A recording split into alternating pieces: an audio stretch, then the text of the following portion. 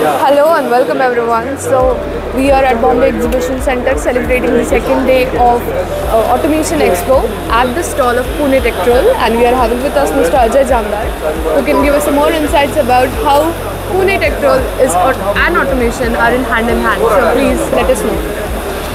Pune Tectrol is manufacturing level measuring instruments from 1984. So it was started with just a normal visual level gauges, level switches and a conventional type of products.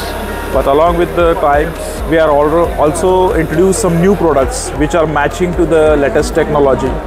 So automation is a good platform for the demonstrating or exhibiting the new products. So we are here with our new technologies, new products which are uh, increasing the uh, strength of the industries so we are all by supporting these instruments to the industries.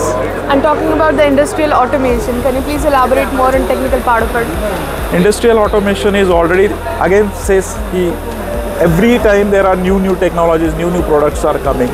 So we are also not behind in this. We are also matching to that speed and we are supporting the industries for this, uh, I mean, providing our new technologies in the same field of level measuring instruments.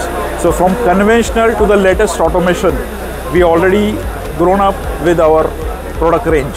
So that is what uh, the things I can say in the automation. And about this industrial automation, uh, like our instrumentation parts, there are different different fields.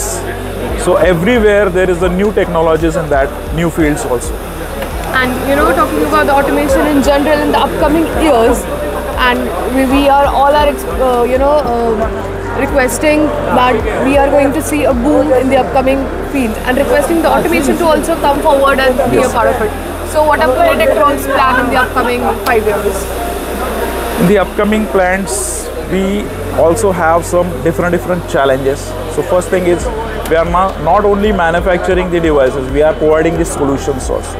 So whatever the challenges or whatever the solutions are expected, Pune Techtrol is always there along with the conventional, along with the new technologies. So solution E will be the our main core for the next coming five years because uh, providing solutions, we, uh, I mean, we have a very good customer base along with the uh, proper solutions, and that is what our main motto for it. We wish you the same and best uh, for the show as well as in the future. So thank you so thank much you, for your thank time. You. Thank you.